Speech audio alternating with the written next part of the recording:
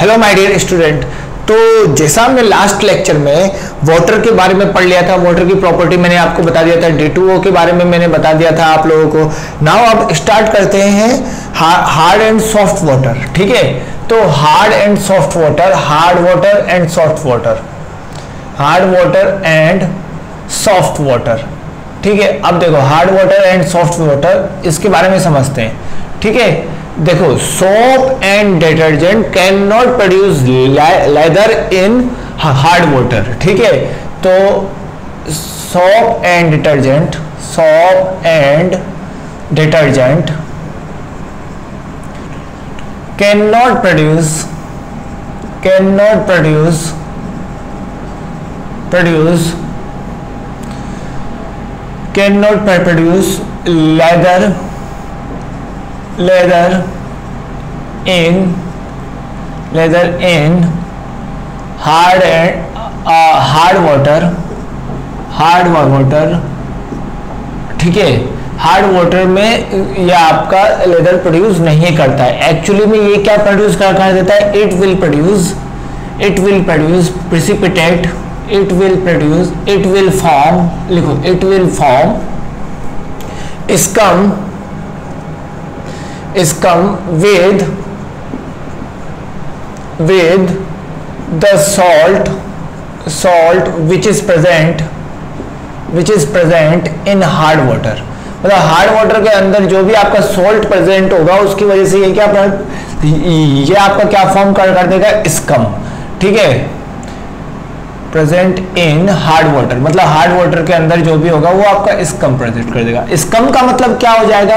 ये आपका प्रेसिपिटेट के फॉर्म में अलग हो जाएगा। बस ये आपका प्रेसिपिटेट स्कम को एक तरीके का प्रेसिपिटेट आप मान सकते हो अभी फ़िलहाल।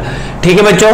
काफ़ी इजी कंसेप्ट है। ठीक है, अब हम देखते हैं यहाँ पर हार्डनेस ऑफ़ वाटर ठीक है hardness of water hardness of water आपके दो तरीके से क्रिएट होते हैं। देखते हैं यहाँ पर दो टाइप के हार्डनेस होते हैं, ठीक है? एक होता है आपका टेम्पररी हार्डनेस एक होता है टेम्पररी हार्डनेस ठीक है? एक बच्चों आपका होता है परमानेंट हार्डनेस कौन सा? परमानेंट हार्डनेस परमानेंट हार्डनेस एक होता है परमानेंट हार्डनेस एक होता है आपका टेम्पररी हार्डनेस तो आपका टेम्पररी हार्डनेस होता क्या बच्चों? Temporary hardness it is produce by it is produced by, it is produced by produced by, bicarbonate bicarbonate of Ca plus 2 and Mg plus two मतलब Mg प्लस टू और Ca plus two के bicarbonate के form साथ form होगा। Bicarbonate का मतलब HCO3 minus ठीक है? इस तरीके से हमारा यहाँ पर टेम्पररी हार्डनेस फॉर्म होता है। ठीक है बच्चों?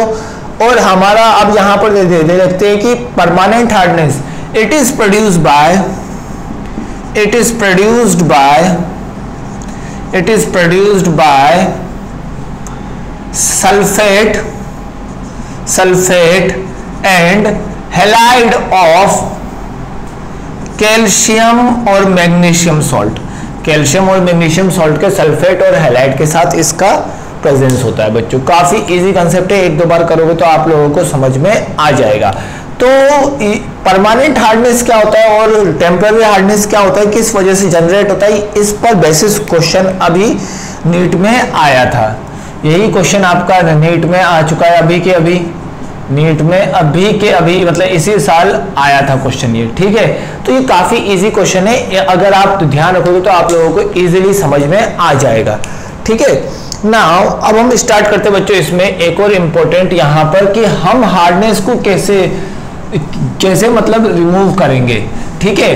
तो मैं एक एक करके बताता हूँ। Removal technique of hardness hardness को रिमूव करने के टेक्निक ठीक है? हार्डनेस को रिमूव करने के टेक्निक बहुत सारे मेथड है, लेकिन हम कुछ मेथड को अच्छे, सारे मेथड को अच्छे से समझेंगे। Removal removal technique of hardness hardness को रिमूव करने के टेक्निक में आपको बताऊँगा एक एक करके। सबसे पहला सबसे पहला for for temporary hardness temporary hardness को रिमूव करने का तरीका क्या है बच्चों? टेम्प्ररी हार्डनेस के अंदर क्या होगा? या तो आपका बाइकार्बोनेट होगा कैल्शियम का या तो मैग्नीशियम का बाइकार्बोनेट होगा, यही मैंने बताया था ना, कैल्शियम और मैग्नीशियम के बाइकार्बोनेट प्रेजेंट होंगे, ठीक है? अब मुझे इसको हटाना है, इसको हटाना है। इसको हटाने के लिए मैं क्या करूँगा कौन कौन से मेथड का यूज़ का करूँगा देखते ध्यान से। सबसे पहला हमारा आता है method one. Method one. Method one हमारा क्या है बच्चों? मेथड वन है हमारा बाय बॉइलिंग। बाय बॉइलिंग, अब देखो, बाय बाय बॉइलिंग। अब बॉइलिंग बॉइलिंग के थ्रू कैसे? अगर मैंने वाटर के अंदर हमारा ये प्रेजेंट होगा C A H C O three whole twice और एक हमारा क्या प्रेजेंट होगा? M G H C O three whole twice दोनों प्रेजेंट होंगे, दोनों को अगर मैंने हीट किया, दोनों को अगर मैंने हीट किया तो यहाँ पर हमारा क्या निकलेगा? यहाँ पर हमारा निकलेगा C A C O three और साथ में यहाँ पर H2O और CO2 अब देखो, यहाँ से आपका C A H C O three C A H C O three bicarbonate आपका कार्बोनेट में का कन्वर्ट हो गया। और ये आपका क्या होता है बच्चों? प्रेसिपिटेट ये आपका क्या होता है? प्रेसिपिटेट बात को ध्यान से समझना। प्रेसिपिटेट के फॉर्म में नीचे जम जाएगा और ऊपर आपका वाटर रह जाएगा। आप अक्सर करते हो घर पे। घर पे अगर आपने पानी को गर्म करोगे तो कुछ ना कुछ मतलब आपका वेस्ट नीचे की ओर जमा हो जाएगा, जो हार्ड वाटर होता है हार्ड वाटर को अगर अगर आप गर्म करोगे तो नीचे की ओर calcium bicarbonate white white colour layer layer बन जाती है और ऊपर आपका वाटर आ जाता है। इस तरीके से कर सकते हैं। दूसरा यहाँ पर क्या है?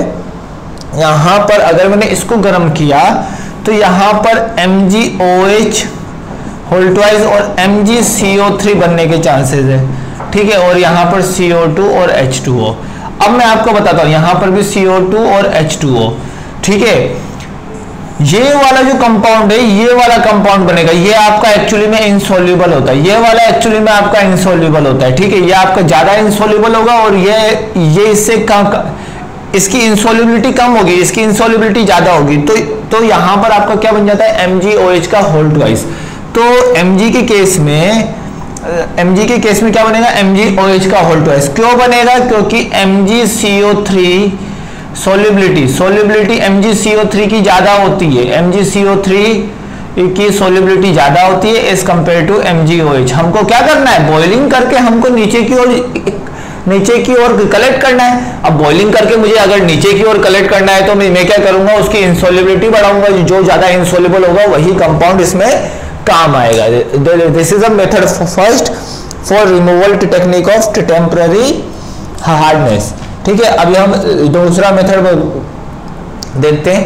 Method two method two by adding by adding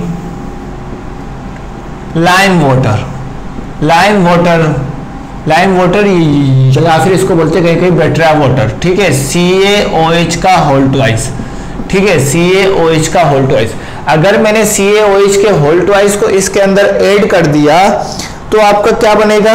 देख लेते हैं एक बार। हमारे वाटर के अंदर क्या है? बाइकार्बोनेट मतलब ये वाली इंप्योरिटी है तो बाइकार्बोनेट के साथ ही रिएक्शन करेगा। तो C A O H two का होल ट्वाइस अगर इसके साथ रिएक्शन करेगा तो C A C O three बना लेगा, साथ में सी ओ टू और एच टू ओ बना देगा। इसी तरीके से अगर M G O M G magnesium bicarbonate के साथ अगर ये रिएक्शन करेगा सी ए ओ एच का होल्टवाइज तो क्या बना देगा बच्चों यहाँ पर? एम जी ओ एच का होल्टवाइज और साथ में यहाँ पर C A C O three और साथ में सी ओ टू और एच टू ओ अब देख सकते हो, आप सारे के सारे इंसोल्यूबल है। यह आपका कैल्शियम का कार्बोनेट मैंने आपको बताया था इंसोल्यूबल होता है। ये भी आपका इंसोल्यूबल होगा, ये भी आपका इंसोल्यूबल होगा। तीनों के तीनों इंसोल्यूबल होंगे मतलब ये तीनों के तीनों आपका पीपीटी के फॉर्म में नीचे की ओर, नीचे की ओर कलेक्ट कर लिया जाएगा, ठीक है? तो इस तरीके से हमने देखो, यहाँ पर टेम्पररी हार्डनेस मतलब बाई कार्बोनेट की वजह से टेम्पररी हार्डनेस होता है। बाइकार्बोनेट की वजह से टेम्पररी हार्डनेस होता है बाइकार्बोनेट की वजह से टेम्पररी हार्डनेस होता है और बाइकार्बोनेट की वजह से। बाइकार्बोनेट की वजह से टेम्पररी हार्डनेस होने की वजह से हमने इन दो मेथड को यूज़ किया। ठीक है? आई होप सो कि आपको समझ में आ गया होगा कि किस तरीके से हमको इन मेथड्स को डील करना है। ठीक है? अब हम देखते हैं कि यहाँ पर टेम्पररी हार्डनेस निकालने के दो मेथड है बाय बॉइलिंग और by adding of lime water ठीक है? अब हम समझते हैं आगे आगे यहाँ पर एक और पॉइंट अब देखो परमानेंट हार्डनेस को रिमूव किस किस तरीके से करेंगे? उसका क्या टेक्निक है? क्या तरीका है जो हम परमानेंट हार्डनेस को रिमूव कर लेंगे? तो एक एक करके समझते हैं। सबसे पहले for permanent hardness permanent hardness को रिमूव करने का क्या मेथड है? समझ लेते हैं एक एक करके तो परमानेंट हार्डनेस के आपको रिमूव करने का कौन कौन से मेथड है, उसको मैं आपको बताता हूँ। परमानेंट ठीक है? अब परमानेंट हार्डनेस को रिमूव करने का सबसे पहला मेथड है बच्चों boiling of N A two first method one लिख देता हूँ। Method one method one boiling with boiling with Na2CO3 Na2CO3 के साथ अगर मैं बॉईल करूँगा तो आपका परमानेंट हार्डनेस आपका रिमूव हो जाएगा। जैसे परमानेंट हार्डनेस किसकी वजह से आता है? जैसे M M C L two M can be calcium plus two and magnesium plus two इसी की वजह से होता था ना कैल्शियम और मैग्नीशियम की क्लोराइड की वजह से मैंने बोला था ना हेलाइड मैंने वहाँ पर लिखा है था परमानेंट हार्डनेस में एक्स माइनस मतलब हेलाइड की वजह से होता है। तो यहाँ पर ये है। अब देखो, इसकी रिएक्शन जैसे ही मैं Na2CO3 के साथ करा दूँ तो यहाँ पर क्या आ जाएगा? NaCl NaCl और यहाँ पर क्या हो जाएगा? NaCl निकल गया, और साथ में क्या आ जाएगा? MCO3 MCO3 अगर मैं बात करूँ यहाँ पर कि MCO3 को अगर मैं MgCO3 अगर मैं M की जगह Mg लू, अगर मैं M की जगह Mg लू तो भी आपका रिएक्शन हो जाएगा। देखो, इसकी जगह एम की जगह मैं एक बार सी ए लेता हूँ। इसी रिएक्शन को नीचे बता रहा हूँ, मैं एक एक करके ध्यान से समझना बच्चों। अगर मैं फ़र्स्ट रिएक्शन अगर मैं Ca for C A plus two C A plus two के लिए अगर मैं लू तो C A C L two plus N A two C O three आपका यहाँ पर क्या बन जाएगा? C A C O three ये प्रेसिपिटेट बन के नीचे और N A C L N A C L is a not NaCl आपका हार्डनेस को क्रिएट नहीं करता है। क्या NaCl आपके हार्डनेस को क्रिएट करेगा? नहीं करेगा। तो यहाँ पर किसी भी टाइप के आपके हार्डनेस क्रिएट नहीं होगी। बस इस चीज़ को ध्यान से समझो। अगर मैं इसी तरीके से इस क्वेश्चन इस इक्वेशन को Mg प्लस टू के फॉर्म में लिखूं तो यहाँ पर MgCl2 और Na2CO3 ठीक है? MgCO3 ठीक है? और साथ में क्या बन जाएगा? NaCl अब देखो MgCO3 MgCA3 भी आपका इंसोल्यूबल होता है लेकिन कम होता है तो ये भी आपका कहीं ना कहीं अमाउंट में नीचे नीचे इकट्ठा हो, हो जाएगा और NaCl is not a hardness creating substance ठीक है? तो ये तो था बाय बॉइलिंग विद Na2CO3 ठीक है? MCl2 MCl2 इसी तरीके से परमानेंट हार्डनेस क्रिएट केवल और केवल इसकी वजह से थोड़ी ना होता है। आपका किसकी वजह से होता है? M two S O four M S O four sorry M S O four की रिएक्शन इस परमानेंट हार्डनेस में तो सल्फेट और वो हेलाइट दोनों होते हैं ना। ये तो मैंने हेलाइट के केस में बात कर लिया। अब सल्फेट भी तो आपके परमानेंट हार्डनेस में आएगा। मैंने लिखा था कैल्शियम और permanent hardness is due to the sulphate and halide of calcium और मैग्नीशियम तो सल्फेट के बारे में बात करते हैं। सल्फेट की रिएक्शन अगर Na2CO3 के साथ कराएँगे तो आपको क्या बन जाएगा बच्चों? एम एम थ्री और यहाँ पर Na2SO4 अब देखो, फिर से यहाँ पर क्या बन जाएगा? इंसोल्यूबल कंपाउंड बन जाएगा तो आपका हार्डनेस निकल जाएगा। मतलब M तो आपका निकल गया और C और SO4 है, वो Na2SO4 के साथ आपका क्या होता है? Not a hardness creating not a hardness creating substance अब आपको एक चीज़ समझ में आ रहा है बच्चों? एक चीज़ बहुत ही इंपॉर्टेंट बात कि हार्डनेस देखो हार्डनेस जब ही क्रिएट होगा, जब सी एसओ फोर होगा M G S O four होगा सॉल्यूशन में, जब आपका यहाँ पर समझ सकते हो C A C L two होगा या फिर M G C L two होगा, तभी आपका हार्डनेस क्रिएट होगा परमानेंट देखो यहाँ पर सी एसओ फोर को कन्वर्ट किसमें कर दिया? C A C O three में।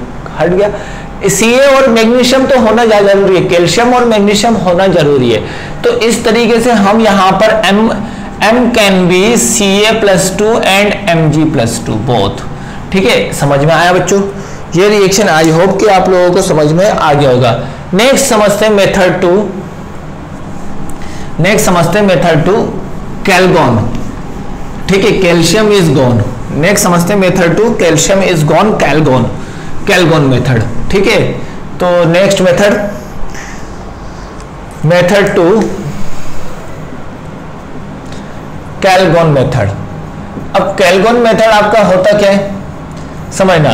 कैलगोन एक्चुअली आपका क्या होता है? कैलगोन आपका एक तरीके का कंपाउंड होता है। इसका नाम आज के बाद हमेशा ध्यान रखना। एन ए टू वैसे मैं इसको सीधे लगता हूँ। N A six P six O eighteen sodium hexaphosphate क्या नाम होगा इसका बच्चों? सोडियम हेक्सा फॉस्फेट ठीक है?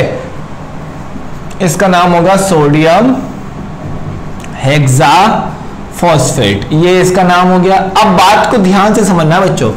ठीक है?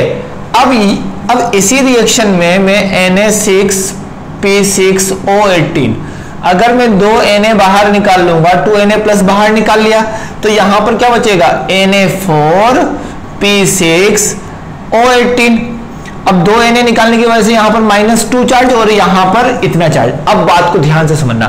अब क्या होगा कि अगर मैं ध्यान से समझना, कैल्शियम सल्फेट और मैग्नीशियम सल्फेट और कैल्शियम क्लोराइड और यहाँ पर मैग्नीशियम क्लोराइड। देखो, ध्यान से समझना बच्चों अगर मैं SO4 में से Ca बाहर निकाल लूँ, अगर मैं SO4 में से Mg बाहर निकाल लूँ, अगर मैं Cl2 में से Ca बाहर निकाल लूँ, अगर मैं Cl2 में से Mg बाहर निकाल लूँ तो हार्डनेस खत्म। हार्डनेस तो इन्हीं चारों की वजह से होगा। तो इसका मतलब हार्डनेस क्या हो गया? खत्म हो गया। जब हमारा हार्डनेस खत्म हो गया तो मैं क्या क्या सोच रहा हूँ कि सी ए प्लस टू की रिएक्शन या एम जी प्लस टू की रिएक्शन अगर मैं इसके साथ करा दू, देखो यहाँ पर। ठीक है ओ एटीन के साथ। तो क्या करेगा, ये जो इसके कैटायन है, इसको एब्जॉर्ब कर लेगा। कैटायन की को क्या कर लेगा? एब्जॉर्ब कर लेगा। और जब ये इसके कैटायन को एब्जॉर्ब कर लेगा तो यहाँ पर क्या बन जाएगा? C N A four P six O eighteen या फिर आपका क्या बन जाएगा? एम जी क्योंकि इसके ऊपर प्लस टू चार्ज है, इसके ऊपर सॉरी इसके ऊपर माइनस टू चार्ज है, इसके ऊपर प्लस टू चार्ज है। तो ये इसके एब्जॉर्ब कर लेगा और ये चार्ज बैलेंस करके एक कंपाउंड बना लेगा। ठीक है कंपाउंड बना लेगा जो कि आपका क्या हो जाएगा? इंसोलेबल हो जाएगा। और साथ में अगर यहाँ पर SO4 हुआ तो NaC Na2SO4 निकलेगा। अगर ये आपका Cl हुआ तो NaCl निकल जाएगा। ठीक है, इस तरीके से हम यहाँ पर कैलगोन मेथड में हार्डनेस को रिमूव कर सकते हैं। कैलगोन मेथड का आपको एक ही चीज़ ध्यान रखना है कि इसका नाम होता है कैलगोन इसका नाम होता है एक्चुअली में कैलगोन बात क्लियर कैलगोन का कैलगोन का फॉर्मूला क्या होता है? सोडियम हेक्साफॉस्फेट ठीक है बच्चों? This is a method second this is a method second अब नेक्स्ट मेथड हम पढ़ते हैं जियोलाइट मेथड नेक्स्ट मेथड हमारा कौन सा बच्चों? Zeolite method method third method third हमारा क्या बच्चों? जियोलाइट मेथड मेथड थर्ड जो कि हमारा क्या होगा, देखो परमानेंट में मैंने टेम्पररी में मैंने आपको दो मेथड पढ़ाए और इसमें मैं आपको चार मेथड पर पढ़ाऊँगा, चारों मेथड आपको याद होने चाहिए। अब देखो, एक में यहाँ पर चेंबर बना देता हूँ।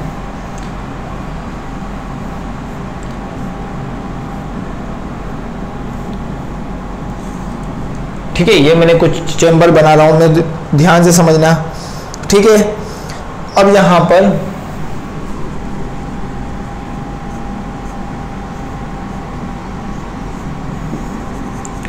Bryan solution. ब्राइन सॉल्यूशन क्या होता है, इसके बारे में मैं आपको बताऊँगा, चिंता वाली कोई बात नहीं है, पहले इसको समझते जाओ, ठीक है? ये मैंने इस तरीके से बना दिया। ये एक्चुअली ग्राउंड को डायनोट करने का तरीका है, इसका कुछ वो वो कंसेप्ट नहीं है, ठीक है? यहाँ से मैं हार्ड वाटर पास करूँगा। यहाँ से मैं हार्ड वाटर को पास करूँगा। और यहाँ पर चार फॉर्म में होगा मतलब चार फॉर्म में होगा बच्चों, यहाँ पर ये ठीक है चार चार तरीके के इसमें चार आपके दो चार पाँच बेड होंगे। बेड होंगे एक तो होगा आपका यहाँ पर जियोलाइट बेड जियोलाइट बेड ठीक है एक होगा बच्चों यहाँ पर आपका ग्रेवल्स ठीक है एक होगा बच्चों आपका यहाँ पर ग्रेवल्स और यहाँ से मैं देखो हा, हार्ड वाटर पास किया इन दोनों से पास होते हुए यहाँ से क्या निकलेगा बच्चों हमारा? सॉफ्ट वाटर क्या निकलेगा यहाँ से हमारा? सॉफ्ट वाटर बस, इस तरीके को समझ लो, ठीक है? एक्चुअली में जो मेथड थर्ड है, वो क्या है बच्चों? Zeolite method zeolite method method third आपका कौन सा बच्चों? जियोलाइट मेथड अब जियोलाइट मेथड आपका होता क्या है? बात को समझना। जियोलाइट मेथड जियोलाइट आपका जियोलाइट का जो फॉर्मूला होता है, वो क्या होता है? जियोलाइट का फॉर्मूला होता है N L S I O two ठीक है? S I O two N A L S I O four sorry N A L S I O four N L S I O four ठीक है? अगर मैं बोलना चाहूँ कि इसका क्या होगा? Sodium sodium aluminium silicate. इसका नाम क्या होगा? Sodium aluminium silicate. ये इसका नाम होता है। नाम आपको ध्यान रखना है अभी से ही।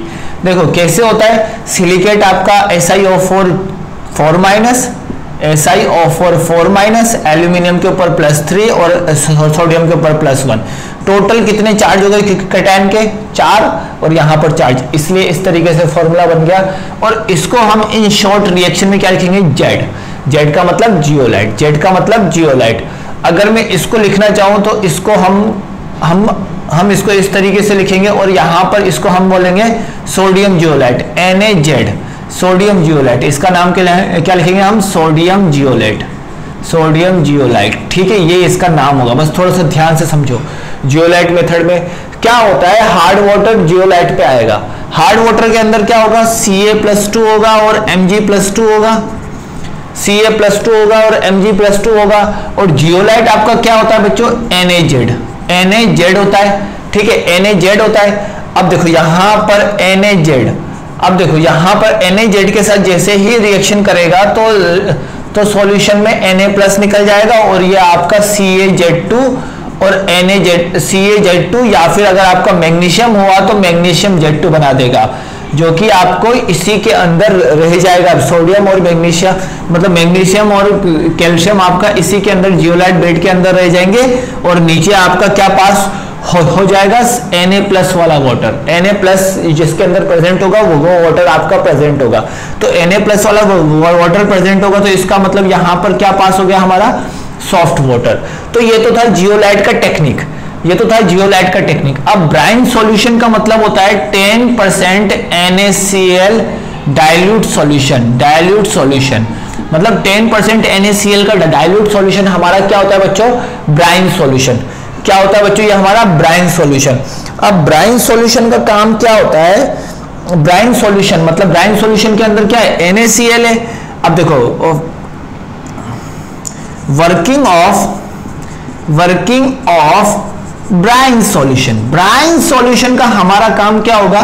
ब्राइन सॉल्यूशन में NaCl है, जो कि इसी जियोलाइट बेड मतलब जियोलाइट बेड के साथ जो आपका कैल्शियम कैल्शियम और मैग्नीशियम का जियोलाइट बेड बना है उसके साथ रिएक्शन करके यहाँ पर सी ए प्लस टू बाहर निकाल देगा एम जी प्लस टू बाहर निकाल देगा और साथ में एन ए जेड मतलब आप देख सकते हो कि यहाँ पर क्या होता है, जैसे ही हार्ड वाटर आएगा तो जियोलाइट एक टाइम के बाद खराब आपका हो जाएगा।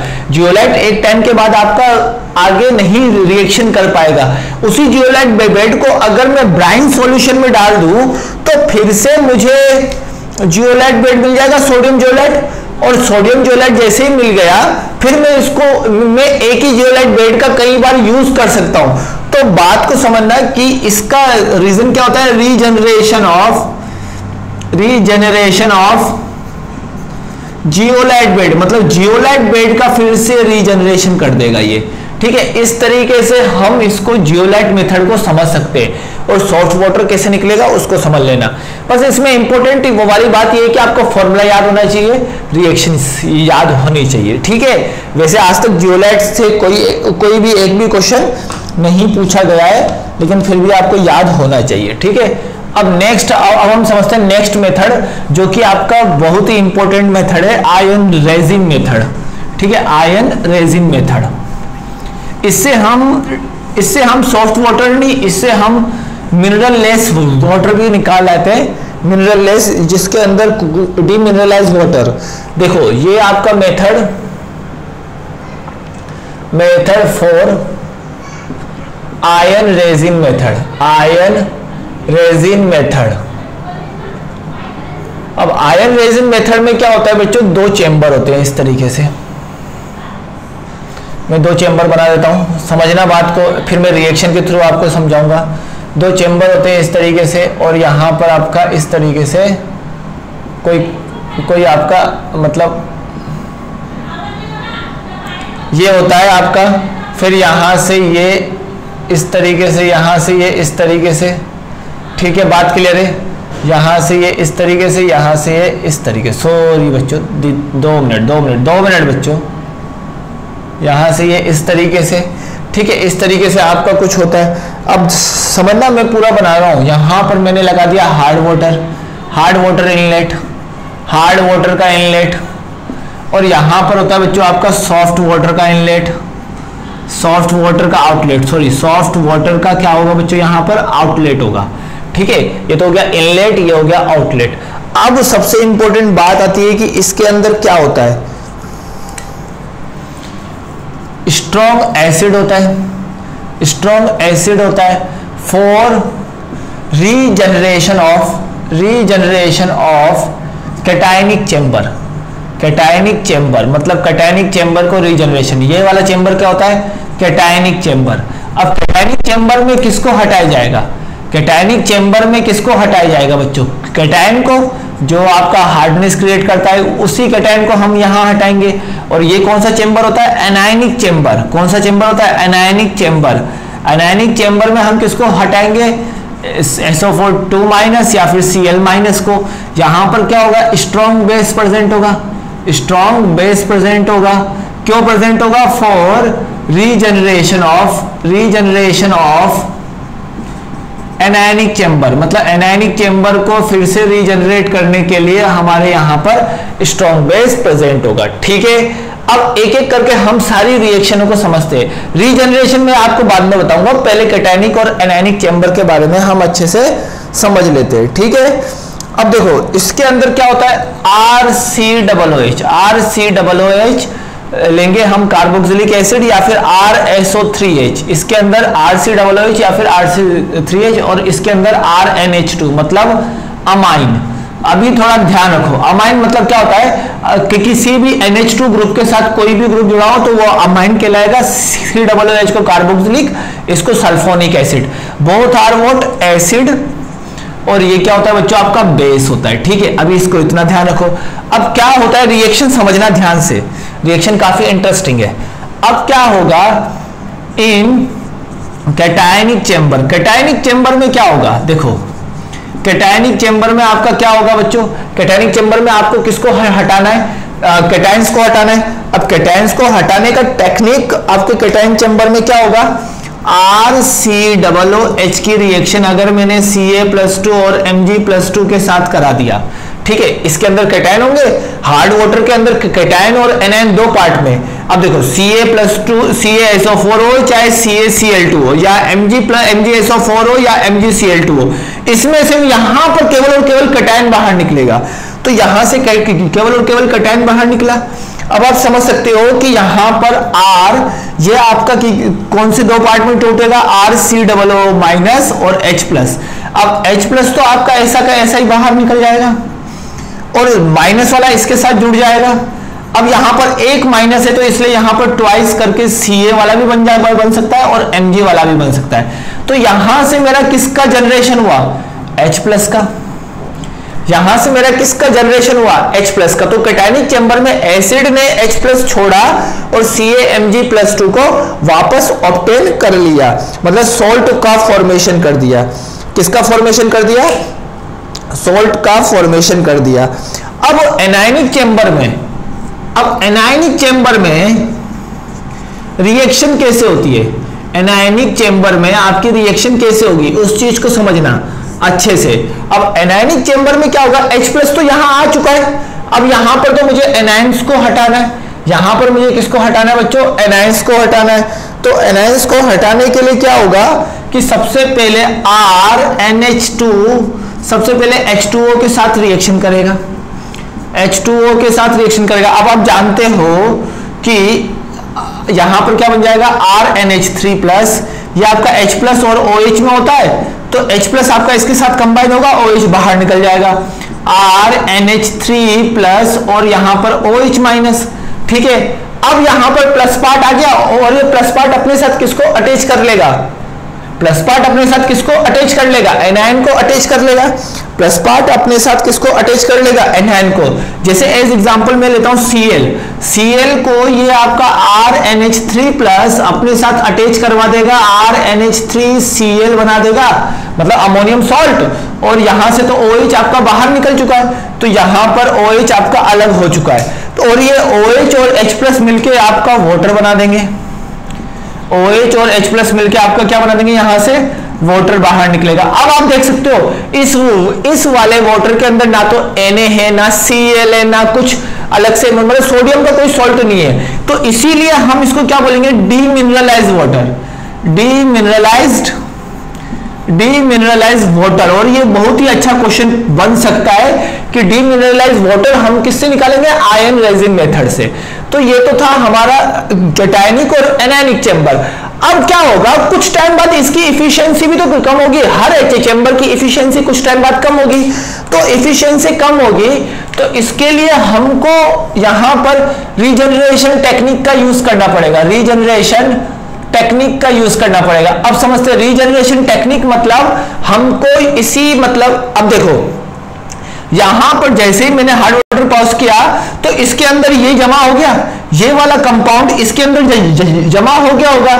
तो अगर मैंने इसकी reaction C A plus C A अगर मैंने इसकी रिएक्शन फिर से यहाँ पर strong acid strong acid is a source of H plus जैसे ही मैंने H प्लस इसको दिया, जैसे ही मैंने H प्लस इसको दिया, H प्लस देते फिर से हमारा ये किसमें कन्वर्ट हो गया? C S three C double O H और यहाँ से सी ए प्लस टू तो यहाँ पर फिर से आपको क्या आ गया? Carboxylic acid. ठीक है? दिस इज़ फॉर वॉट वो कैटाइनिक चेंबर कि कैटाइनिक चेंबर रीजनरेशन ये कैटाइनिक चेंबर का रीजनरेशन के लिए। अब मैं बात करता हूँ यहाँ पर एनाइनिक चेंबर के रीजनरेशन तो एनाइनिक चेंबर में क्या होगा? ध्यान से समझना। यहाँ पर एनाइनिक चेंबर में हमारा ये बना था। प्लस और ये माइनस हमारा ये बना था R N H three plus और सी एल माइनस ठीक है, बात क्लियर है। सबसे पहले ये क्या होगा? बताओ बच्चों, सबसे पहले ये आपका दो पार्ट में टूट जाएगा। जैसे ही, अब देखो, यहाँ पर मैंने क्या लिया स्ट्रॉन्ग बेस स्ट्रॉन्ग बेस का मतलब OH माइनस का सोर्स तो इसकी रिएक्शन OH माइनस के साथ कराएँगे तो यहाँ पर क्या बन जाएगा? R N H three plus O H minus और यहाँ से सी एल माइनस आपका क्या हो जाएगा बच्चों? बाहर निकल जाएगा। यहाँ से मेरा सी एल माइनस बाहर निकल गया। अब इसको अगर मैं हीट करूँगा इसको अगर मैं हीट करूँगा तो यहाँ से H2O बाहर निकल जाएगा और अमाइन बन जाएगा वापस से। वापस से वही बन जाएगा, देखो। हमको देखो यहाँ पर हमको आर सी डब्ल्यू एच का ये यूज़ था कुछ टाइम बाद ये आपका खत्म हो जाएगा खराब आपका हो जाएगा। इसको खराब होने से बचाने के लिए या फिर इस, इसकी इफिशियंसी बनाने के लिए मैं फिर से इसको बना सकता हूँ। रीजनरेशन टेक्निक तो यहाँ जो ऊपर जो आपके स्ट्रॉन्ग एसिड स्ट्रॉन्ग बेस होते हैं this is only for regeneration मतलब इसके अंदर जो कार्बोक्सिलिक एसिड है और इसके अंदर जो अमाइन है उसको फिर से रीजनरेट करने के लिए। ठीक है? लेकिन यहाँ पर यहाँ पर शुरुआत में जब मैं हार्ड वाटर से सॉफ्ट वाटर में कन्वर्ट करता, तब इसकी ज़रूरत नहीं होती। तब इसकी ज़रूरत नहीं होती। लेकिन, अगर हमारे अंदर का सिस्टम अगर खराब हो जाएगा तो क्या करेंगे? रीजनरेशन टेक्निक का यूज़ करेंगे। This is a quite easy तो इस तरीके से हमारा यहाँ पर आयन रेजिन मेथड खत्म होता है बच्चों। ठीक है? अब हम समझते हैं कि हार्डनेस हार्डनेस ऑफ़ वाटर को हम किस तरीके से कैलकुलेट करेंगे? अक्सर जेई मेंस में अक्सर जेई मेंस में पाँच शिफ्ट होती है पाँच शिफ्ट में से एक शिफ्ट में पक्का यहाँ से बेसिस एक न्यूमेरिकल आता है मतलब इंटीजर टाइप आएगा जो कि आपको चार नंबर देखे जाएगा। मतलब पाँच में से एक भी शिफ्ट अगर होती है पाँच शिफ्ट होती है पाँच छह शिफ्ट होती है और, और, और इतनी शिफ्ट होने की वजह से आपके कहीं ना कहीं आपके कहीं ना कहीं आपके मार्क्स आने की प्रोबेबिलिटी कहीं ना कहीं इस ये वाला क्वेश्चन आपके बैठने की प्रोबेबिलिटी है। ये भी हो सकता है कि आपके शिफ्ट में ही आ जाए। तो इसीलिए इसको थोड़ा ध्यान से समझना। Calculation of calculation of hardness hardness of water water in term of in term of C A C three हमारे हार्डनेस ऑफ़ वाटर को हम हमेशा किससे किससे किससे निकालते C A C O three के टर्म में। देखो, कैसे निकालते मैं क्वेश्चन आपको समझाता हूँ। क्वेश्चन के थ्रू ही हम जाएँगे, ताकि आपको इजीली समझ में आ जाए। तो एक क्वेश्चन लिखते हैं। One litre of hard water one litre of hard water hard water contain one litre of hard water contain समझना यहाँ पर। One litre of hard water contain one M of one M of C and and one M G of M and one M G of M ठीक है, आपने mall concert पढ़ा है तो आपको आ जाएगा।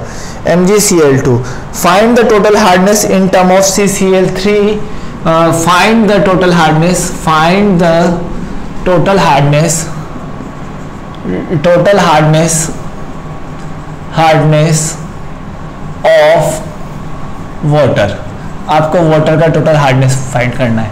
ये आपका क्वेश्चन है, काफ़ी इजी क्वेश्चन है, अगर आप लोग देखोगे तो। अब मैंने आपको क्या बताया था in term of C A C O three इसका मतलब समझना, यहाँ पर पीपीएम में निकालते हैं, हमेशा किसमें निकालते हैं? पीपीएम पीपीएम का मतलब ten raise to power six ठीक है ten raise to power six M L में लीटर में निकालेंगे ठीक है? Ten raise to power six M L में sorry ten raise to power six M L में निकालने की कोशिश करेंगे हमेशा। देख ठीक है बच्चों? तो देखो यहाँ पर क्वेश्चन सॉल्यूशन समझते हैं एक बार। आप लोगों को आ जाएगा। अब देखो यहाँ पर जो हार्डनेस क्रिएटिंग सब्सटेंस है वो कि, कितने बच्चों? दो है। तो दोनों का अलग अलग कैलकुलेशन करेंगे हम सबसे पहले। ठीक है, दोनों का अलग अलग कैलकुलेशन करेंगे क्योंकि दो है ना, दो आपका हार्डनेस का रेटिंग है तो देख लेते हैं। अब इसको कैलकुलेशन करने का सबसे सिंपल तरीका, हमेशा आप ना ग्राम इक्वलेंस मेथड का यूज़ करोगे। ग्राम इक्वलेंस मेथड का यूज़ करोगे, ठीक है? अब ग्राम इक्वलेंस मेथड मतलब हार्ड वाटर यहाँ पर हम क्या करेंगे हमेशा? सी का gram equivalence equal to C का ग्राम इक्वलेंस ठीक है? C A C L two का क्या होगा बच्चों? C L C L two का ग्राम इक्वलेंस का formula mole into N factor mole into N factor mole N को स्मॉल एन को हम किससे डिनोट करते हैं बच्चों? मोल से। ठीक है, और इसके लिए भी क्या होगा? Mole into N factor this is for C A C O three this is for C A C L two अब आपके मन में बात आई होगी एन फैक्टर होता क्या है? एन फैक्टर आपका ध्यान से समझना। N factor total number of cation total number of cation total number of cation multiply by charge on cation ठीक है? चार्ज ऑन कैटायन अब बात को, इस बात को ध्यान से समझो। क्या होगा? जैसे अगर मैं बात करूँ C A C L two C A C L two को अगर मैं ब्रेक करूँगा तो सी ए प्लस टू और C L two C L minus तो टोटल नंबर ऑफ़ कैटायन कितने बच्चों? एक ही है। एक ही कैटायन है और उसके ऊपर चार्ज कितना है? दो हो गया तो दो इसका इन फैक्टर इसी तरीके से आप सी ए सी थ्री का भी निकाल सकते हो। सी ए सी थ्री का कितना होगा बच्चों? जल्दी बताओ। यहाँ पर सी ए प्लस टू और यहाँ पर सी ओ थ्री माइनस या हम ये ये वाला फॉर्मूला हम एनाइन के लिए भी यूज़ कर सकते हैं। टोटल नंबर ऑफ़ एनाइन बात एक ही है। आप कैटाइन के लिए करो। देखो कितने का कैटाइन है? एक कैटाइन है और कितना है? दो। तो कितना आ जाएगा बच्चों यहाँ पर? दो। तो एन फैक्टर हमने निकाल लिया। कितना आया बच्चों? दो आ गया। एन फैक्टर दो आ गया। अब देखो CaCO3 मोल का फॉर्मूला क्या होता है? Given mass upon molecular mass CaCO3 का कितना होता है? 100 इसीलिए हम इसके टर्म में निकालते हैं। इसका मॉलिकुलर वेट 100 होने की वजह से इसीलिए हम इसके टर्म में निकालते हैं। अब यहाँ पर यहाँ पर CaCl2 का कितना वेट दिया हुआ है? 1 mg. 1 mg का मतलब one into ten raise to power minus three gram ठीक है? और इसका टोटल वेट कितना होता है बच्चों आपका? इसका टोटल वेट होता है बच्चों आपका 9.95 95 जो अप्रोक्स कितना आ जाएगा? दो से दो गया तो यहाँ पर आपका वेट वेट कितना आ गया? वेट आपका आ गया यहाँ पर अप्रोक्सीमेट कितना आ जाएगा? 1.0 point zero into ten raise to power approximate की, की बात कर रहा हूँ? 1.0 point zero into ten raise to power मतलब ये 100 ऊपर जाएगा तो ten raise to power three ये आपका ग्राम इतना इसके अंदर हार्डनेस क्रिएट है। Hardness hardness of water in term of C S three तो मैंने सी एस के टर्म में निकाल दिया। सिमिलर हम इसके लिए करेंगे।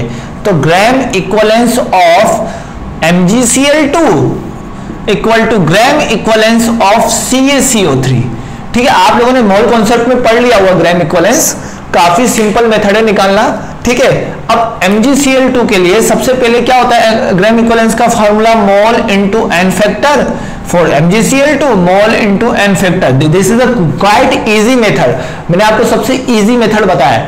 अब एन फैक्टर निकालने का तरीका, इसमें इसमें देख सकते हो MgCl2 MgCl2 को अगर मैं तोड़ूँगा तो Mg प्लस टू और Cl माइनस तो यहाँ पर नंबर ऑफ़ कैटायन कितने? एक है, और कैटायन पे चार्ज कितना है? दो है तो कितना हो जाएगा? एन फैक्टर दो हो जाएगा।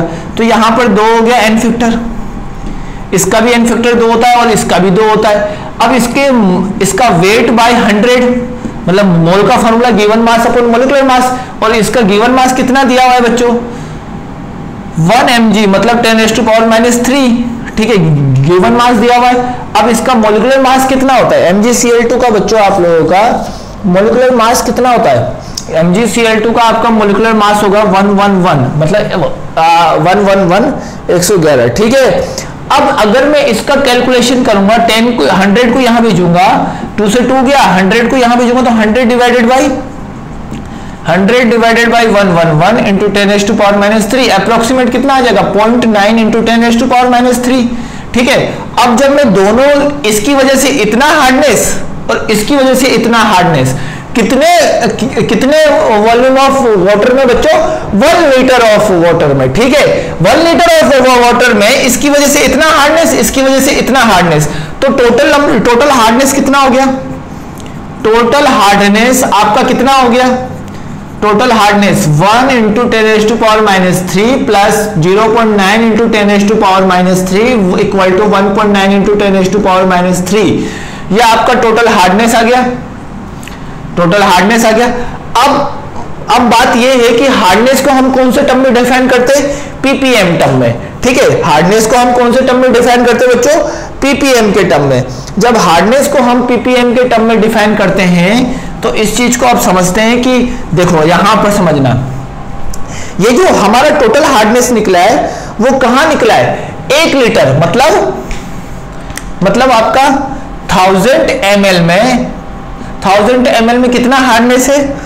One zero point one point nine into ten raise to power minus three ठीक है? तो एक तो यहाँ पर हमको कितने निकालने हमको ten s to power six M में निकालना है, ठीक है? तो ये आपका वन लीटर का मतलब ten s to power three और ten s to power three में इतना है तो ten s to power six में कितना होगा? तो ten s to power six M में कितना होगा? तो हम सिंपली करते तो तो हमारा एक एम में कितना होगा? 1.9 point nine into ten s to power minus three divided by ten s to power three और हमारा ten s to power six M में कितना होगा? 1.9 point nine into ten s to power minus three divided by ten s to power three यहाँ पर क्या आ जाएगा? Ten s to power six तो कितना आ जाएगा? 1.9 पॉइंट पीपीएम इसको जब हम कैलकुलेट करेंगे। तो ये मेथड काफ़ी इजी है। देखो एक्चुअली में वन लीटर का मतलब आपका होता क्या है? थाउज़ेंड एम एल मतलब ten s to power three M ठीक है? तो ten s to power three M में इतना इतना आपका, आपको कितने एम में निकालना है? Ten s to power six तो आपका क्या बन जाएगा अपने आप? पीपीएम तो इस तरीके से हम इसको कैलकुलेट कर सकते हैं। आप अगर ओनली मेथड ध्यान रखेंगे तो मेथड के थ्रू भी आप कोई किसी भी टाइप के क्वेश्चंस को डील कर सकते हैं। आपको केवल और केवल मेथड ध्यान रखोगे तो काफ़ी है। ठीक है तो एक और क्वेश्चन हम देख लेते हैं नॉर्मलिटी और मोलारिटी कैलकुलेट करने वाला। अब देखो नॉर्मलिटी और मोलारिटी कैलकुलेट करने वाला एक और क्वेश्चन हम देख लेते बच्चों। तो यहाँ पर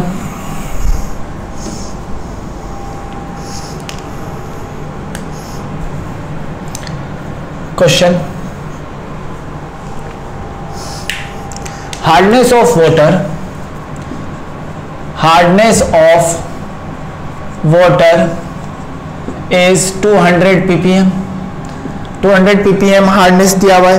The the normality the normality and molarity of water molarity of water water का कितना होगा?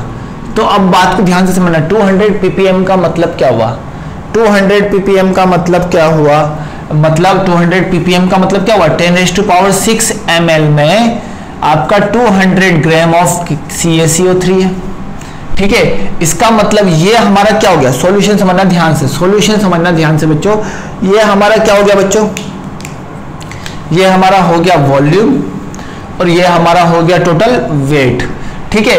अब मोलारिटी का फॉर्मूला क्या होता है? Molarity equal to mole upon mole upon volume of solution volume of solution वो भी किसमें लीटर में। तो मोल कैसे निकालेंगे? 200 given weight upon molecular weight divided by इसका ml में, ml को हमको किसमें कन्वर्ट करना है? लीटर में कन्वर्ट करना है। ये आपका ml दिया हुआ तो ml को मुझे किसमें कन्वर्ट करना है? लीटर में। लीटर में कन्वर्ट करने के लिए ten s to power minus three से डिवाइड करेंगे। तो अगर मैं इससे, अगर मैं कैलकुलेशन करूँगा तो हमारा आंसर क्या आ जाएगा बच्चों? हमारा आंसर आ जाएगा two into ten s to power three M ठीक है? इस चीज़ का ध्यान रखो। ठीक है? और ध्यान से समझना नॉर्मालिटी निकालेंगे तो हमेशा किससे निकालेंगे? मन से। नॉर्मालिटी निकालेंगे तो किससे निकालेंगे? मन से निकालेंगे। मन मतलब ये हो गया मोलारिटी ये हो गया मोलारिटी और ये हो गया एन हो गया आपका एन फैक्टर एन फैक्टर अभी अभी मैंने निकालना बताया सी एस थ्री का कितना होता है बच्चों? टू होता है। तो normality equal to molarity two into ten s to power minus three और यहाँ पर two equal to four into ten s to power minus three N this is the answer of this question ठीक है? This is a quite easy question अगर आप लोग एक दो बार ध्यान से समझोगे तो आप लोग इस क्वेश्चन को डील कर लोगे। ठीक है? इस क्वेश्चन को इजीली डील कर लोगे। अब मैं आपको एक और क्वेश्चन दे जाता हूँ, वो आप लोगों को खुद से करना है। ठीक है? एक और क्वेश्चन देता हूँ, वो आपको खुद से करना है, ठीक है? इस चीज़ का ध्यान रखो। आपको खुद से करना है, अगर नहीं आए तो डाउट आप लोग पूछ सकते हो, ठीक है? डाउट आप लोग पूछ सकते हो मुझसे, ठीक है? इसमें कोई दिक्कत वाली बात नहीं है, ठीक है? देखो, एक क्वेश्चन है, वो आपके लिए होमवर्क है। Calculate the hardness of water sample water sample which contain which contain which contain 0.001 mole of 1 mole of MgSO4 MgSO4 dissolve per liter dissolve per litre ठीक है ये क्वेश्चन है, आपको हार्डनेस कैलकुलेट करना है। This is a quite easy question अगर नहीं आए तो फिर से मैं आपको कैलकुलेशन बताऊँगा। इसका हिंट आप समझ लेना। Gram equivalence of M G S O four equal to gram equivalence of C A C O three इस तरीके से आप स्टार्टअप लो और इसमें कितना दिया हुआ है वॉल्यूम वन लीटर आपको किसमें निकालना है? Ten s to power six M में निकालना है। बस। अब इसको आप लोग डिटेल करो और इसका जो आंसर होगा आंसर इसका क्या होगा वो मैं आपको बताऊँगा, जब आप निकाल के बताओगे, ठीक है? इसका आंसर फिर भी मैं लिख देता हूँ हंड्रेड पीपीएम आएगा। क्या आ जाएगा? हंड्रेड पीपीएम मुझे हंड्रेड पीपीएम आंसर चाहिए, ठीक है? नाउ अब हम चलते हैं बच्चों नेक्स्ट नेक्स्ट टॉपिक हमारा H2O2 काफ़ी इंपॉर्टेंट और काफ़ी अच्छा टॉपिक है H2O2 H2O2 एक्चुअली में होता क्या है, वो सब आपको समझेंगे यहाँ पर। तो देख लेते हैं H2O2 H2O2 H2O2 हमारा होता क्या है? H2O2 H2O2 को हम क्या बोलते हैं? हाइड्रोजन पेरोक्साइड क्या बोलते हैं? हाइड्रोजन पेरोक्साइड अब पेरोक्साइड पेरोक्साइड क्यों बोलते हैं? क्योंकि इसमें पेरोक्साइड लिंकेज होता है। तो सबसे पहला हमारे पास, हमारे सामने जो क्वेश्चन बनता है what is peroxide linkage what is peroxide linkage अब पेरोक्साइड लिंकेज आपका क्या होता है? व्हाट इज़ पेरोक्साइड लिंकेज ये सबसे पहला क्वेश्चन बनता है। अब अब इसका सॉल्यूशन हम समझते हैं ध्यान से। मैं आपको तीन चार कंपाउंड बनाता हूँ। आप लोगों को उसका पेरोक्साइड कौन सा है, कौन सा नहीं है, वो आपको बताना है, ठीक है? यहाँ पर मैंने बना दिया, देखो।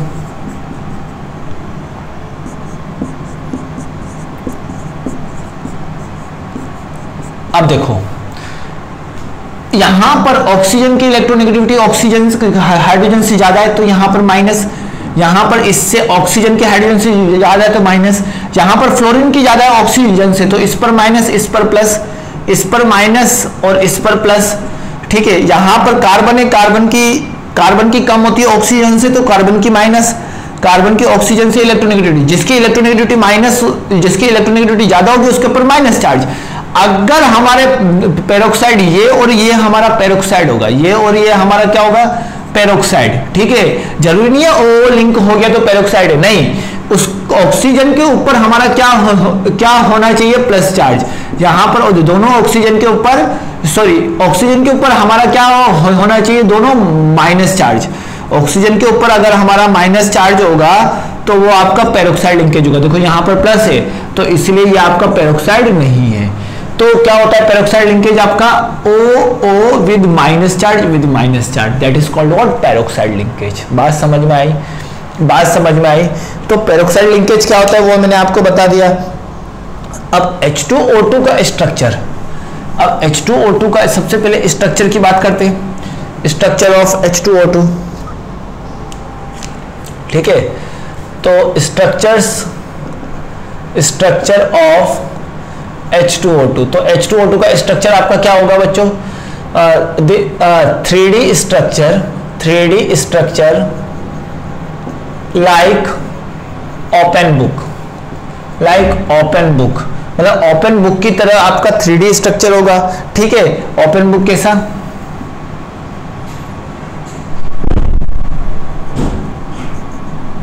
ऐसा ही होता है ओपन बुक आपका।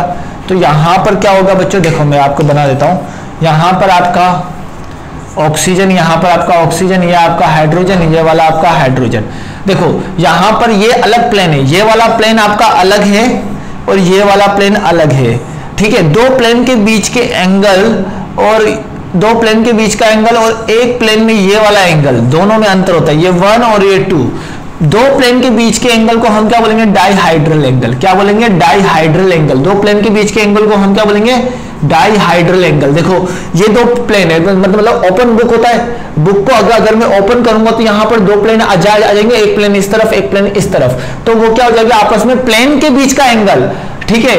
Angle between plane angle between plane plane के बीच का एंगल आपका क्या होता है बच्चों? डाईहाइड्रल एंगल ठीक है? तो डाईहाइड्रल एंगल होता है एक आपका ये वाला एंगल होता है, ठीक है? अब ध्यान से समझना यहाँ पर थीटा वन और थीटा टू के केस में हम समझते हैं यहाँ पर कि अगर मैं अगर मैं थीटा अगर मैं यहाँ पर गैसेस लू अगर मैं यहाँ पर यहाँ पर मैं डाईहाइड्रल एंगल की बात करूँ थीटा वन की बात करूँ थीटा वन आपका गैसियस फ़ेज़ में और सॉलिड फ़ेज़ में, ये आपके दो फ़ेज़ में होता है। एक सॉलिड फ़ेज़ में होता है, एक आपका कौन से फ़ेज़ में होता है? गैस फ़ेज़ में होता है, ठीक है? गैस फ़ेज़ में होता है। एक आपका सॉलिड फ़ेज़ में होता है, एक आपका गैस फ़ेज़ में होता है। तो गैस फ़ेज़ में डाईहाइड्रल एंगल आपका कम होता है as compare to solid phase ठीक है?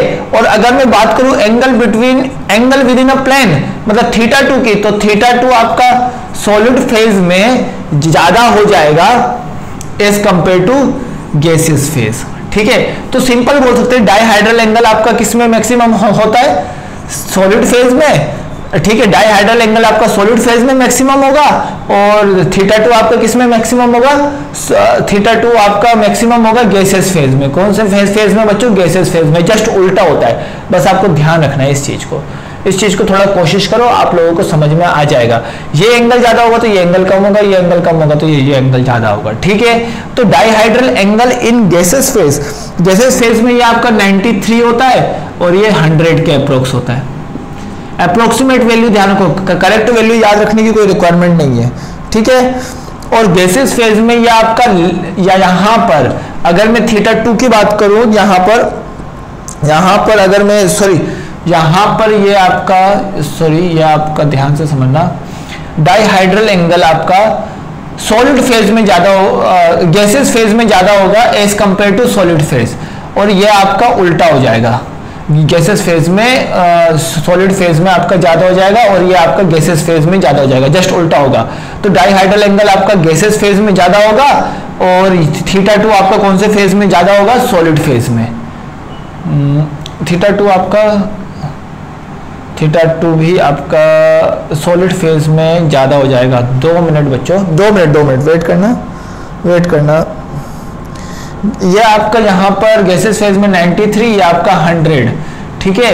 और अगर मैं इसका गैसेस फ़ेज़ बनाऊँ तो greater than 100 greater than 100 degree angle और इसका लेस देन 100 डिग्री एंगल इसका लेस देन इसका कितना होगा? लेस देन 100 डिग्री एंगल हाँ हाँ ये होगा लेस देन 100 डिग्री एंगल और ये ग्रेटर देन 100 डिग्री एंगल ठीक है? बस इस चीज़ का ध्यान रखना। देखो सॉलिड फ़ेज़ में डाईहाइड्रल एंगल ज़्यादा होगा। और थीटा टू आपका सॉलिड फ़ेज़ में आपका ज़्यादा होगा। बस एंगल का थोड़ा सा ध्यान रखना एंगल का थोड़ा सा ध्यान रखना। आप लोगों को बुक में भी दिया हुआ है स्ट्रक्चर आप लोग दे, देख सकते हो। तो यहाँ पर समझ सकते हैं हम क्या डाईहाइड्रल एंगल मतलब अगर मैं डाईहाइड्रल एंगल की बात करूँ तो वो हमेशा कौन से फ़ेज़ में ज़्यादा होगा? सॉलिड फ़ेज़ में ज़्यादा हो सॉलिड फ़ेज़ में ज़्यादा हो जाएगा डाईहाइड्रल एंगल ठीक है? लेकिन अगर मैं बात करूँ और गैसेस फ़ेज़ में डाईहाइड्रल एंगल कम हो जाएगा, ठीक है? तो हम हम एक ही चीज़ लेते हैं। ये कुछ उल्टा सुल्टा वो, यहाँ यहाँ पर कुछ उल्टे सुल्टे बात है तो मैं आपको बता देता हूँ सिंपल करके। Theta one dihedral angle dihedral angle अगर गैसेस फ़ेज़ में ये ज़्यादा होगा तो ये कम होगा। अगर सॉलिड फ़ेज़ में ये ज़्यादा होगा तो ये कम होगा, ठीक है? सॉलिड फ़ेज़ में ये ज़्यादा होगा तो ये कम होगा और गैसेस फ़ेज़ में ये ज़्यादा होगा तो ये कम होगा, ठीक है? तो इस चीज़ का ध्यान रखो। तो हम थीटा वन की बात करते हैं। थीटा वन आपका क्या होगा? थीटा वन आपका गैसेस फ़ेज़ में ज़्यादा होगा as compare to solid phase मतलब गैसेस फ़ेज़ में थीटा वन ज़्यादा होगा तो यहाँ पर थीटा टू की क्या हो क्या हो जाएगा अपने आप? कम हो जाएगा। ठीक है? और यहाँ पर थीटा टू की बात कर लेते तो थीटा टू आपका सॉलिड फ़ेज़ में ज़्यादा होगा और गैसेस फ़ेज़ में कम हो जाएगा। बस इस तरीके से हमको ध्यान रखना है इसको, ठीक है? सिंपल तरीका मैंने आपको बता दिया। एंगल याद रखने की कोई रिक्वायरमेंट नहीं है। एंगल आपके 100 के अराउंड होते हैं तो उस चीज़ को थोड़ा सा आप लोग बुक से नोट डाउन कर सकते हो। काफ़ी ईजी और क्वाइट ईजी कंसेप्ट है बच्चों। ज़्यादा इतना टिपिकल कंसेप्ट भी नहीं है, ठीक है? अब हम देखते हैं बच्चों इसका preparation method preparation method of H2O2 तो प्रिपरेशन मेथड ऑफ़ H2O2 हमारा क्या होता है? समझना यहाँ पर। Preparation method of H2O2 preparation method of method of H2O2 H2O2 का प्रिपरेशन मेथड कैसे होगा बच्चों? सबसे पहले बेरियम पैरोक्साइड बेरियम पैरोक्साइड का रिएक्शन अगर मैंने 8H2O अगर मैंने इसकी रिएक्शन H2SO4 के साथ करा दिया तो आपका क्या बनेगा? BaSO4 बन जाएगा और साथ में आपका H2O2 और साथ में आपका यहाँ पर 8H2O बाहर निकल जाएगा। ठीक है? अब ये तो हमारा बन गया H2O2 का सबसे पहला प्रिपरेशन मेथड अब यहाँ पर समझ लेना, ये ये कौन सा, ये आपका किस टाइप का है? बेरियम पेरोक्साइड ये आपका क्रिस्टलाइन है। ये आपका क्रिस्टलाइन है। ठीक है? सबसे पहला पॉइंट नोट डाल के। मतलब एनहाइड्रस एनहाइड्रस मतलब जिसके अंदर ये नहीं हो। एनहाइड्रस का मतलब क्या होता है? एन बी टू मतलब जिसके अंदर एच टू ओ मोलिक्यूल ना हो। Anhydrous B O two can not can not form form H two O two H two O two due to the due to the formation of formation of protective layer protective layer of of BaSO4 around the BaO2 around BaO2 मतलब क्या होगा अगर मैंने BaO2 लिया तो ये क्या करेगा H2SO4 रिएक्शन होगा रिएक्शन होगा तो यहाँ पर चारों ओर ऊपर की ओर कौन सा लेयर फॉर्म कर देगा BaSO4 B S O four form कर देगा।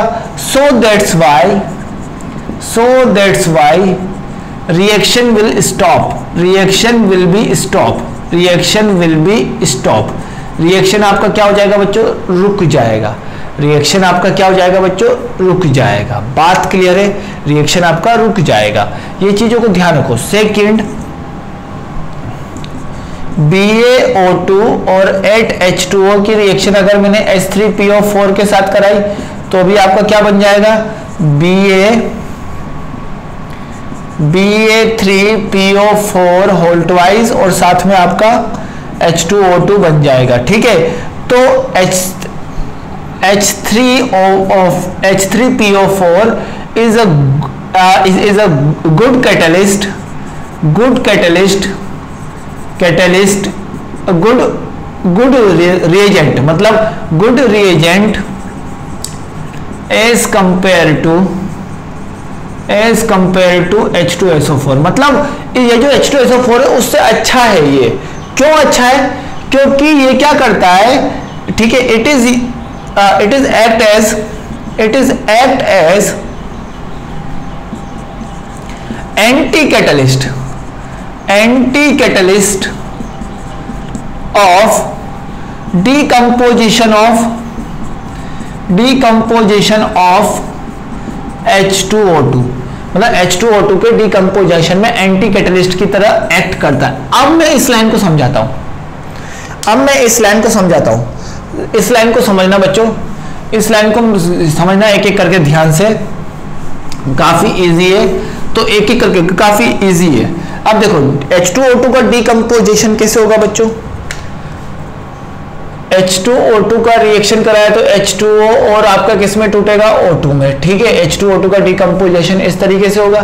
जब इसका डिकम्पोजिशन होगा तो आप लोग समझ सकते हो बच्चों यहाँ पर कि जैसे ही इसको लाइट मिल जाती है तो ये डिकम्पोजिशन इसका हो जाता है, ठीक है? So so H2O2 will be kept in kept in kept in dark dark and waxed line waxed line bottle मतलब इसको हमको किसमें किसमें रख, रखना पड़ता है? ड्राई और वेक्स लाइन बोतल ठीक है? वेक्स लाइन का मतलब सरफेस स्मूथ होगा ठीक है? अगर सरफेस थोड़ा सा भी रफ सरफेस हुआ तो ये रिएक्शन कर जाएगा। ये वाली रिएक्शन आपकी एक्सप्लोजिव होती है एक्सप्लोजिव होती है। ये वाली रिएक्शन आपकी क्या होती है? एक्सप्लोजिव होती है ठीक है? तो इस वजह से kept in dark and wax line bottle for prevention of for prevention prevention by sunlight sunlight and and rough surface मतलब अगर रफ सरफेस और इससे प्रिवेंशन करने के लिए मुझे इसके अंदर रखना पड़ता है। And add some add some anti catalyst add some anti catalyst अब देखो रिएक्शन प्रोग्रेस होती है। रिएक्शन को प्रोग्रेस को रोकने वाला रिएक्शन को प्रोग्रेस कराने वाला कैटलिस्ट और रिएक्शन की प्रोग्रेस को रोकने वाला anti catalyst this is a decomposition reaction this is a decomposition reaction of H2O2 this is a decomposition reaction of H2O2 और इसी रिएक्शन को प्रोग्रेस को रोकने वाला क्या होता है? एंटी कैटलिस्ट ठीक है एंटी कैटलिस्ट अब एंटी कैटलिस्ट होगा तो क्या होगा बच्चों? एंटी कैटलिस्ट हम किसका यूज़ करेंगे? ग्लिसरॉल ग्लिसरेल का ग्लिसरेन का यूज़ करेंगे। ठीक है, जो कि हमारा क्या करेगा बच्चों? डिकम्पोजिशन रिएक्शन को होने नहीं देगा। तो इस चीज़ को हमेशा माइंड में रखो। ये आपका एक्सप्लोजिव रिएक्शन होता है, इसको डार्क बोटल और wax line dark and wax line bottle में किप्ट करते क्यों? क्योंकि सनलाइट और रफ सरफेस से बचाने के लिए। जैसे इसको सनलाइट और रफ सरफेस मिल गया तो ये रिएक्शन कर जाएगा। ठीक है? ठीक है? आपका एक्चुअली रफ सरफेस भी आपका किसकी तरह एक्ट करता है? कैटेलिस्ट की तरह इस रिएक्शन में, ठीक है? तो थोड़ा सा ध्यान रखो। और वहीं पर मैंने आपको बताया था P O four is use as anti catalyst ठीक है? तो ये तो था पहला पहला मेथड मैंने आपको बताया था फॉर्मे प्रिपरेशन का। दूसरा method by electrolysis of H2SO4 ठीक है, अब H2SO4 का इलेक्ट्रोलाइसिस कराएँगे तो H2SO4 सबसे पहले आपके दो पार्ट में टूटेगा, H प्लस और HSO4 माइनस ठीक है, अब क्या होगा एनोड पर? एनोड पर HSO4 माइनस माइनस वाला एनोड पर जाएगा। ये इसके दो मोल और यहाँ से क्या हो जाएगा बच्चों? H2S2O8 में बनेगा और साथ में दो इलेक्ट्रॉन निकालेगा। फिर मैं H2S2O8 का रिएक्शन अगर मैं H2O के साथ कराऊँगा तो H2SO5 और यहाँ पर H2SO4 बन जाएगा। बात क्लियर है? बात क्लियर है? यहाँ तक समझ में आ गया? अब ध्यान से समझना बच्चों, यहाँ पर H2SO और यहाँ पर जैसे ही मैं H2SO5 सॉरी H2SO5 ठीक है? अब जैसे ही मैं H2SO5 का रिएक्शन कराऊँगा, ध्यान से समझना H2SO5 को जैसे ही मैं रिएक्शन कराऊँगा तो यहाँ पर मुझे क्या मिल जाएगा? H2 H two O two और यहाँ पर मुझे मिल जाएगा एच टू यहाँ पर मुझे मिल जाएगा H two S O four और यहाँ पर मेरा ओ टू रिमूवल होगा, ठीक है? ओ टू गैस बनेगा, और क्या होगा कि कैथोड पर कैथोड पर हमारा H प्लस बनेगा। कैथोड पर हमारा H प्लस होगा। H प्लस आपका किसमें बनेगा H2 में कन्वर्ट हो जाएगा और यहाँ पर दो इलेक्ट्रॉन का रिमूवल सॉरी यह आपका H प्लस दो H प्लस आपका दो इलेक्ट्रॉन को लेगा तो यहाँ पर H2 बना लेगा और ये आपके इसके साथ रिएक्शन करके H2O2 का फॉर्मेशन कर लेगा। इसके साथ रिएक्शन करके किसका फॉर्मेशन कर लेगा? H2O2 H2O2 का। तो इस रिएक्शन को हम क्यों अच्छा मानते? हैं क्योंकि यहाँ पर जो दो H2SO4 मिले, शुरुआत में हमको वही काम आते हैं ना। तो यहाँ पर हम साइकिल की तरह रिएक्शन करा सकते हैं। एंड में जो हमको H2SO4 मिलेंगे, वो आपके साइक्लिक प्रोसेस के लिए काम आ जाएगा। तो ये एक मेथड था, थोड़ा सा इसको अच्छे से समझिएगा। काफ़ी इजी मेथड है, काफ़ी सिंपल मेथड है बच्चों। एक दो बार करोगे तो आप लोगों को समझ में आ जाएगा, ठीक है? O2 O2 टू माइनस और यहाँ पर दो इलेक्ट्रॉन ठीक है? इस तरीके से बन जाएगा ये। ठीक है? अब यहीं से जो बनेगा, वो आपका इस तरीके से प्रोग्रेस करता हुआ जाएगा, ठीक है? और ये इसके साथ रिएक्शन करके H2O2 का फॉर्मेशन कर देगा। ये इसके साथ रिएक्शन करके किसका फॉर्मेशन कर देगा? H2O2 का। This is the second method second preparation method of H2O2 अब हम समझते हैं थर्ड प्रिपरेशन मेथड तो थर्ड प्रिपरेशन मेथड हमारा क्या है बच्चों? थर्ड प्रिपरेशन मेथड ठीक है? ये थर्ड प्रिपरेशन मेथड हमारा क्या होगा उसको समझ लेते हैं हम यहाँ पर अच्छे से। थर्ड प्रिपरेशन मेथड हमारा क्या होगा? Third preparation method ethyl anthraquinol ethyl anthraquinol ठीक है? टू इथाइल एंथ्राक्यूनॉल के रिएक्शन ठीक है? ये आपका ये द साइक्लिक प्रोसेस ऑफ़ ये समझ लेना, ना नाम याद रखना। टू इथाइल एंथ्राक्यूनॉल इसकी रिएक्शन जब मैं आपके किसके साथ कराऊँगा?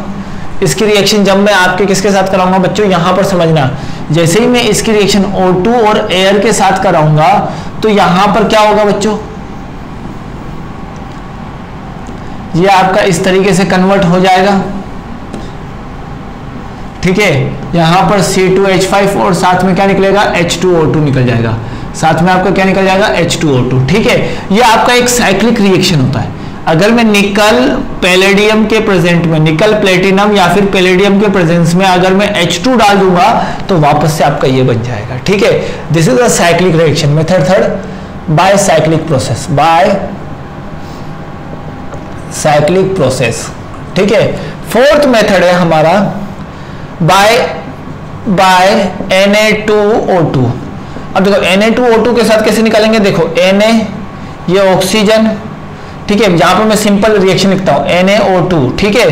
यहाँ पर O, यहाँ पर Na तो ये क्या हो जाएगा बच्चों? हमारा प्लस ये माइनस ये माइनस ये प्लस बात को ध्यान से समझना।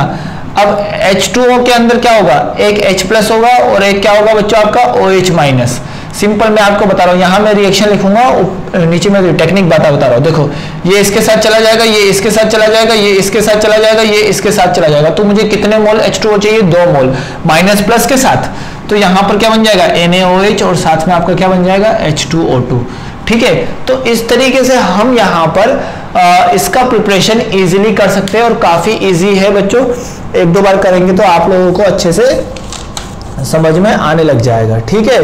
अब H2O2 का यूज़ क्या होता है बच्चों? H2O2 का यूज़ क्या होता है? H2O2 आपका oxidising as well as reducing agent की तरह भी यूज़ किया जाता है। H2O2 को हम किसकी तरह यूज़ करते हैं? Oxidising agent as well as reducing agent की तरह भी हम इसका यूज़ करते हैं। तो समझते बात को ध्यान से। तो oxidising agent as well as reducing agent की तरह भी हम इसका यूज़ करते हैं। तो देखते हैं यहाँ पर। देखो H2O2 act as oxidizing agent as well as reducing agent दोनों की तरह इसका यूज़ करते हैं, ठीक है? तो पहला हमारा क्या है? समझना एसिडिक मीडियम में। दोनों मीडियम में होता है, बच्चों रिएक्शन दोनों मीडियम में होता है रिएक्शन ठीक है, दोनों मीडियम में एसिडिक मीडियम में act as oxidizing agent oxidizing agent की तरह कैसे एक्ट करेगा बच्चों, देख लेते हैं। एफ़ प्लस टू को ये किसमें कन्वर्ट कर देगा? एफ़ प्लस थ्री में। ठीक है, ये आपका कौन से कलर का होता है? ग्रीन कलर का, और ये आपका कौन से कलर का होगा? F plus three yellow brown colour का। येलो ब्राउन कलर का, ठीक है? तो ये इसको इसमें कन्वर्ट कर देता है। जैसे अगर मैं बोलूँ कि अगर मैं H2O2 डाल दूँ तो ये इसको इसमें कन्वर्ट कर देगा ठीक है? H2O2 के प्रेजेंस में। नेक्स्ट इसी में एक और मैं आपको बताता बताता हूँ। पीबीएस पुरानी जो लेड पेंटिंग होती है अगर उस पर ब्लैक कलर आता है तो वो, वो इसको किसमें कन्वर्ट कर देता है? पीबीएसओ में। ये ब्लैक ब्लैक लेड पेंटिंग के लिए ब्लैक लेड पेंटिंग के लिए ये मैंने रिएक्शन लिख दिया। बात क्लियर है? बात क्लियर है, ये हो गया एसिडिक मीडियम अब इसी भी मैं बेसिक मीडियम में बात एसिडिक मीडियम में रिड्यूसिंग एजेंट की तरह भी एक्ट करेगा। कैसे करेगा रिड्यूसिंग एजेंट की तरह एक्ट बच्चों, ये देखो K2Cr2O7 की रिएक्शन अगर मैं H2O2 के साथ H2SO4 के प्रेजेंस में कराऊँगा तो आपका क्या होगा? समझना यहाँ पर। सबसे पहले CrO5 और यहाँ पर इसका स्ट्रक्चर क्या होता है? ये आपका कौन सा होता है? ब्लू क्रोमेट ब्लू क्रोमेट होता है, इसका स्ट्रक्चर आपको बताया था बटरफ्लाई स्ट्रक्चर ठीक है, साथ में आपका K two SO four K two SO four बना लेता है. के टू एसओ फोर भी बनाता है, और साथ में आपका यहाँ पर एच टू ओ का रिमूवल करता है. और और जो आगे आगे ये ज़्यादा अनस्टेबल होता है, जो आगे एच टू एसओ फोर के साथ रिएक्शन करके C R four whole thrice ये आपका बना लेगा। जो कि ये आपका कौन से कलर का होगा? ग्रीन कलर का होगा और ये आपका कौन से कलर का था ऑरेंज कलर का। तो इस तरीके से ये आपका कुछ रिएक्शन दिखाता है। अगर मैं बात करूँ यहाँ पर बेसिक मीडियम में बेसिक मीडियम में किस तरीके से रिएक्शन दिखाएगा? बेसिक मीडियम में यहाँ पर आपका रिएक्शन दिखाएगा। जैसे ऑक्सीडाइजिंग एजेंट की बात करूँ तो बेसिक मीडियम में भी आपका क्या करेगा? एफ़ प्लस टू को एफ़ प्लस थ्री में कन्वर्ट कर देगा। सिमिलरली टर्म है। कोई ज़्यादा रॉकेट साइंस नहीं है। और एम एन प्लस और यहाँ पर बोल सकते हैं हम यहाँ पर यहाँ पर एम एन प्लस टू को एम एन प्लस फोर में भी कन्वर्ट कर देगा। एम एन प्लस टू को बेसिक मीडियम में ये किसमें कन्वर्ट कर देगा? एम एन प्लस फोर में। ठीक है? तो इस तरीके से हमारा कुछ रिएक्शन है। इसको हमको ध्यान रखना है किसमें किसको कन्वर्ट करेगा किसमें किसको कन्वर्ट करेगा किसमें किसको कन्वर्ट करेगा। इसका नाम ये आपका ब्लैक कलर का होता है तो ये आपका कौन से कलर का होता है? व्हाइट कलर का। ठीक है? तो इस तरीके से हम इसका पूरा पूरा जो ऑक्सीडाइजिंग और रिड्यूसिंग करेक्टर है, उसके बारे में समझ सकते हैं। ठीक है बच्चों? अब हम समझते हैं बच्चों इसके यूजेस अब हम समझते हैं इसके यूजेस तो इसके यूजेस क्या क्या होंगे, उसको देख लेते हैं। तो यूज़ के बारे में सबसे पहला एस ब्लीचिंग रिएजेंट अब क्या होगा ब्लीचिंग रिएजेंट में समझना बच्चों, अगर मैं H2O2 आपका क्या होता है? H प्लस और OH2 plus dye basic colour होता है। अगर मैं यहाँ पर, अगर मैं यहाँ पर अगर मैं ऑक्सीडाइजिंग ऑक्सीडेंट के फॉर्म में अगर H2O2 को यूज़ करूँगा तो वो क्या करेगा? परमानेंट परमानेंट ब्लीचिंग करेगा परमानेंट ब्लीचिंग करेगा, ठीक है? लेकिन अगर मैं रिडक्टेंट की तरह रिडक्टेंट की तरह अगर मैं H2O2 को यूज़ करूँगा तो वो आपका टेम्पररी टेम्पररी ब्लीचिंग करेगा। बात क्लियर है? टेम्प्रोरी ब्लीचिंग करेगा। तो इस चीज़ का ध्यान रखना ब्लीचिंग एक्शन में हम हमेशा H2O2 एज अ ऑक्सीडेंट लेते हैं। H2O2 एज अ हम क्या लेते हैं? ऑक्सीडेंट ठीक है? ऑक्सीडेंट के यूज़ में वो ब्लीचिंग एक्शन मतलब कलर कंपाउंड को कलरलेस करने के काम आएगा। तो as a bleaching action of wool and silk दोनों का, ठीक है? सेकेंड सेकेंड आप लोग जानते होंगे as antiseptic as antiseptic antiseptic under the name of under the name of pyro, under the name of under the name of perhydrol perhydrol perhydrol मतलब आपको बाउंड्स होते हैं बाउंड्स पे सबसे पहले किसका, किससे साफ़ करते हैं? H2O2 से। थर्ड